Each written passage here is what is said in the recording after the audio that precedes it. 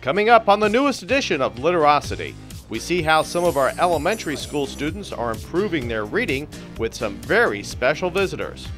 Well, oftentimes kids are afraid to even show their true self or their true emotions, and uh, it's like a light switch. As soon as they get reading to the dogs, all of a sudden we see kids and their personalities come to life.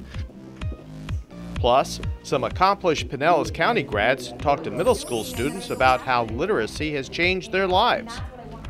We see how high school economic teachers are partnering with the University of South Florida St. Petersburg, teaching financial literacy to our graduating seniors.